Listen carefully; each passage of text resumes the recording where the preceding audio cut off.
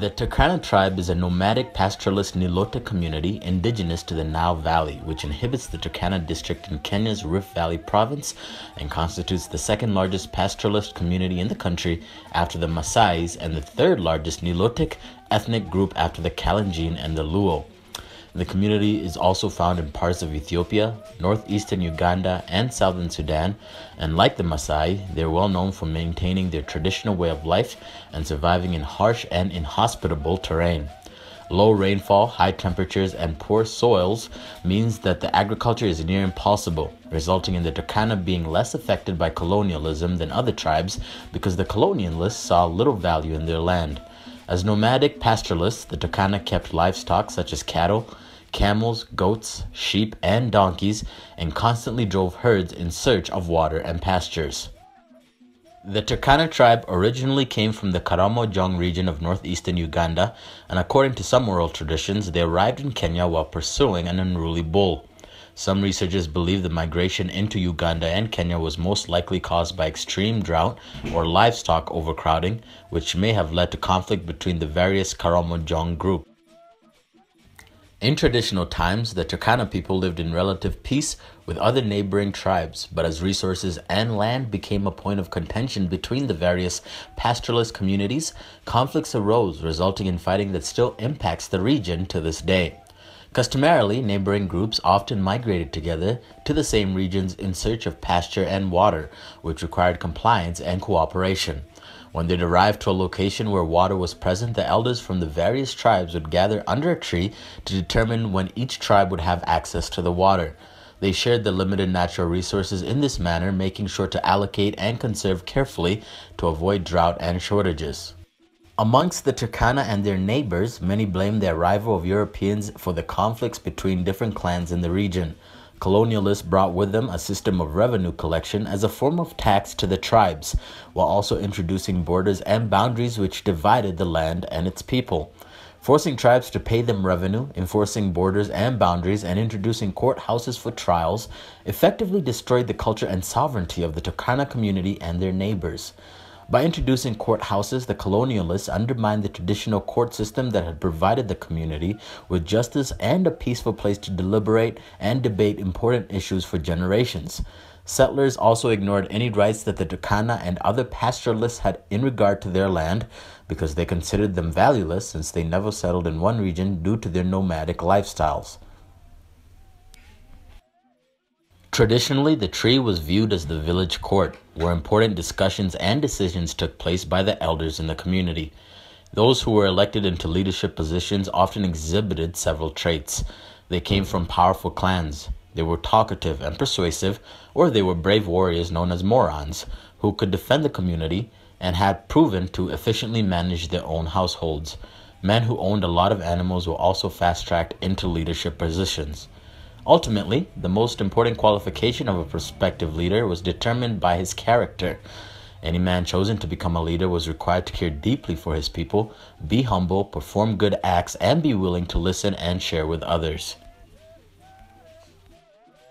One of the Turkana's people's most revered heroes was named Ebei Wangamoe, a brave leader who protected the community by fighting different tribes and raiders. According to legend, Ebei was born like other children, but God gave him a heart to defend his community. Thanks to his bravery in fighting off enemies, the Turkana people were able to settle permanently in their present location. During times of war, women were called upon to help fight enemies and protect the community. While the men were busy fighting in the field, the women would sneak into the villages and steal goods as a way to deplete the village of its resources. The Turkana god, known as Akuj in their language, was the reason they were able to have animals or enjoy the crops that resulted following a rainy season. The word Akuj itself derives from the same root as the words for up or above. Akuj was associated with the sky and could be addressed through prayer and rituals performed by rainmakers and prophets. Animal sacrifices were made to God in order to appease him at times of famine, drought, livestock epidemics, flooding, and other natural disasters beyond human control. The Turkana believe that since the sun rises from the east, God originates from that same direction. Therefore, all their prayers were directed to the eastern part of the sky.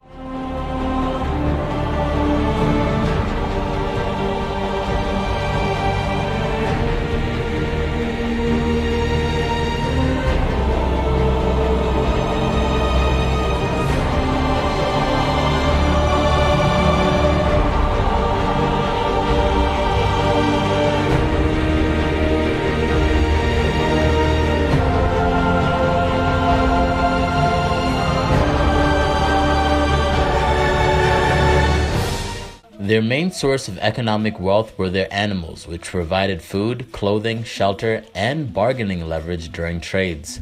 The men had two main occupations either they were responsible for livestock or they were fishermen. The Turkana also divided themselves up according to age groups, meaning that children born in a particular age set can call other men in a certain older age set father, even though there was no biological link.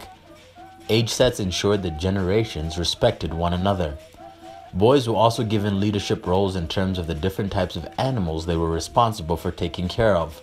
Within the family structure, the firstborn was considered king and head of the family. Girls were assigned to fetch water and deliver it to elders, collect firewood, deliver messages, and prepare for marriage by observing how their mothers took care of their home. They also were assigned animals to take care of once they were returned from the fields by their brothers. The Turkana tribe doesn't practice male or female circumcision, but instead, they perform initiations for boys to mark their transition into manhood. When a boy reached the age of 10, a tooth was removed and he was taken to the trees. He would no longer be regarded as a child, but rather he was viewed as a warrior who could take care of himself, otherwise known as a Moran. First, he bought a spear, which confirmed that he was now an adult. Secondly, he was paired up with a mentor who would help him throw out all his old possessions and give him new clothing, shoes, beads, and a stick. The mentor also gave the initiate four or five goats, and only then was the young man allowed to sit in the company of elders. The elders would roast the slaughtered goats, and when the time came to eat the roasted meat, the young man would taste it and spit it out without swallowing. Traditionally, they also received unique haircuts, and before nightfall, the elders would smear the feces from inside the intestines all over the initiates before blessing them with sticks.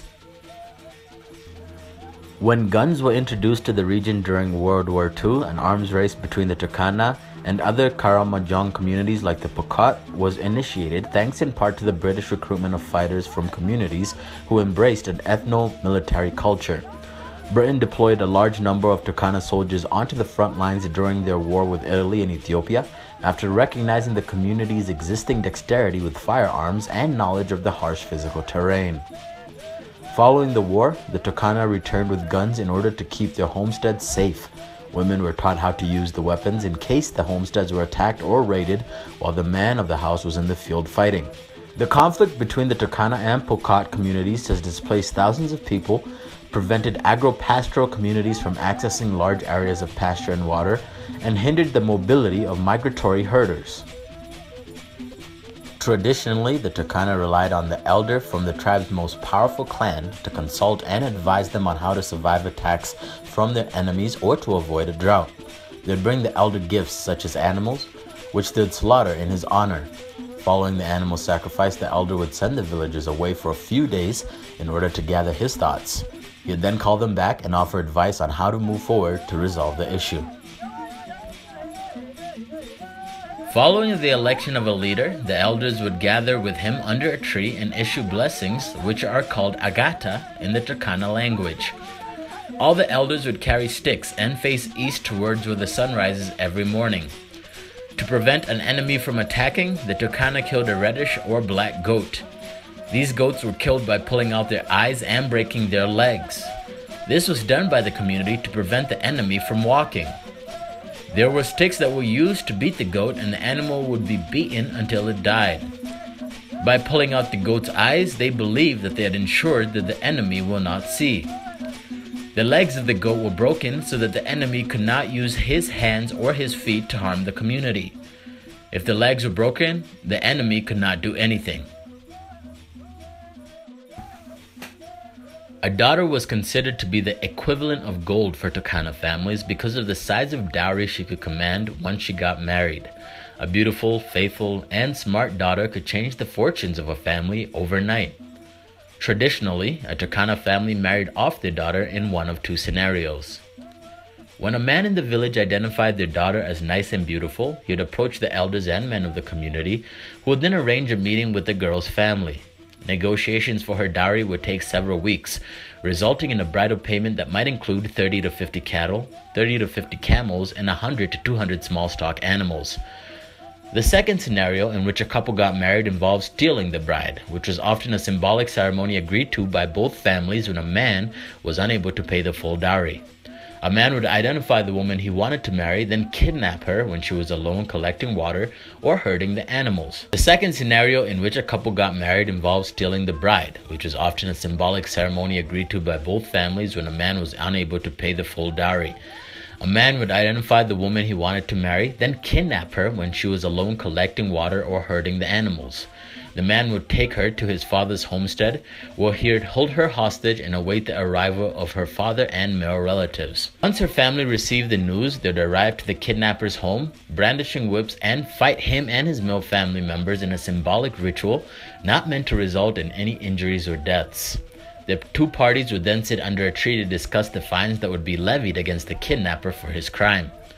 Eventually, they'd settle on a dowry price that the man's family could afford to pay. Men were allowed to marry as many wives as they could afford to support. The other wife or wives had no option but to agree with this decision. Those who refused were often beaten until they agreed. Once a woman was married, she lost her right to dictate how and when her body could be used. The husband viewed her as a property since he paid an expensive dowry to acquire her. Since she was part of a legal transaction, the man felt it was his right to determine when and how they'd have sex. At times, men would forcibly perform sexual acts despite her objections, even when she was on her period. A typical homestead known as an awi was made up of a man, his wives, their children, and often his mother and other dependent female relatives. Each wife would build a daytime sitting hut called an ekol and a nighttime sitting hut called an aki that was used during the rainy season. When the husband married another wife, she would stay with the first wife until she got her first child. During traditional times, the birth of a male or female child was marked by what instrument was used to cut the umbilical cord. If the newborn was a baby girl, a knife would be used, while a spear would be used to cut the umbilical cord if the baby was a boy. A spear was used for the boy as a symbol that he would one day be the head of his family, in charge of looking after the animals and defending the tribe. The umbilical cord would remain attached to the mother until it fell off naturally. The birth of a baby girl would be marked with a small blessing ceremony called Adaya that was held outside the family's homestead. A goat was slaughtered, and bad omens, such as those that prevented women from bearing children, would be rendered powerless during the ceremony. The entire goat was eaten on the same day as it was slaughtered, with the women eating their portion during the day and the men finishing it off during the evening. The mother remained in the house for up to four days, by which time the other half of the umbilical cord had fallen off. The women in the village would clean up the area where the mother delivered the baby. A woman's power was directly related to the position her husband held in the community. For example, the wife of a chief was afforded more power than the wife of a farmer. For the most part, however, women were not allowed to hold any leadership positions in the community, and even standing in front of people to speak was unheard of. Since they had no education and didn't know their rights, women were relegated to being followers of their husbands and fathers instead of leaders. The fundamental reason the Turkana saw little value in women was because wives were essentially valued the same as a group of animals thanks to the dowry system. For the most part, women were responsible for maintaining the welfare of the family, which included taking care of the children and cleaning, fetching water and firewood, collecting and cooking food, delivering messages and packages, and building homes and animal sheds.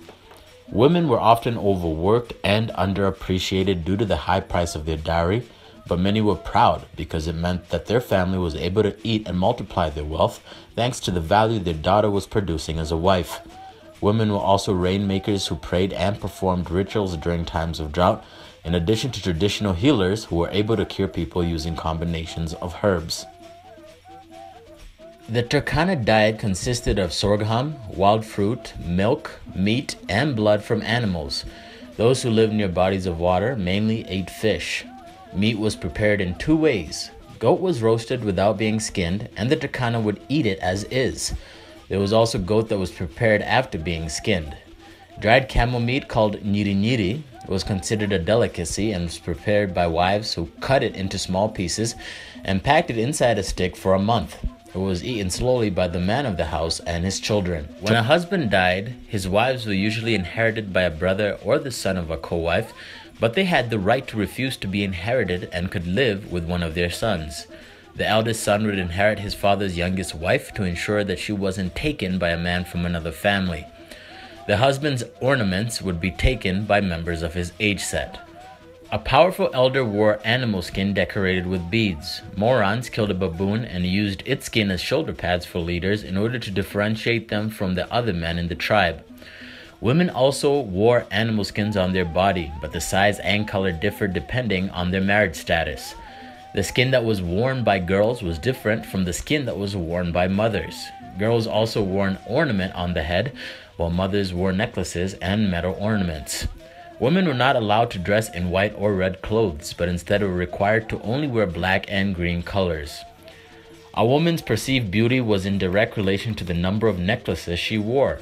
Women who wore many necklaces were considered beautiful and were quickly chosen as wives, while those whose family couldn't afford to sell a cow to purchase necklaces found it difficult to land a husband. The number of necklaces that a girl wore also determined her dowry price. The necklaces advertised whether a girl was ready to get married or not. Girls also applied red soil on their skin to appear more beautiful to potential suitors. Other than the necklaces, the women wore nothing to cover up their chests. In general, they wore very little clothing and applied red soil on their private parts. The buttocks were not covered, but medals and armlets were worn on the arms and legs. Traditionally, a man who died would not be buried. Instead, he would be placed in a goat shamba and covered with fresh branches. When a woman died, however, her body was put inside a house. Blacksmiths in the village were known as gununoi, and they made spears by heating metal in fire using a round stone called mtatoi. The blacksmiths heated the metal until it turned red and then shaped it into a spear. After shaping it, they inserted another piece of metal inside the heated metal and folded it in half before attaching it to a stick carved from a special tree called Akalia bome. The side with the spear was used during combat, and the other end was used to measure the depth of water in a river or to dig boreholes for their animals. Women used wood from a special tree to make gourds, which they decorated using ostrich shells and beads. Special clay and mud was used to decorate the skin of warriors as a way to artistically showcase their bravery, and every Turkana ceremony involved ostrich feathers, which attached to clay ornaments that were placed on people's heads to add color and style to their outfits. As pastoralists, the Turkana people migrated to different locations, often in search of water and pasture, often settling in flat areas populated by acacia trees. Acacia trees were vital when determining where to settle because the Turkana used them to build sheds to protect their livestock from wild animals. Flat land was preferred because living under a mountain or valley would make them easy targets for raiders.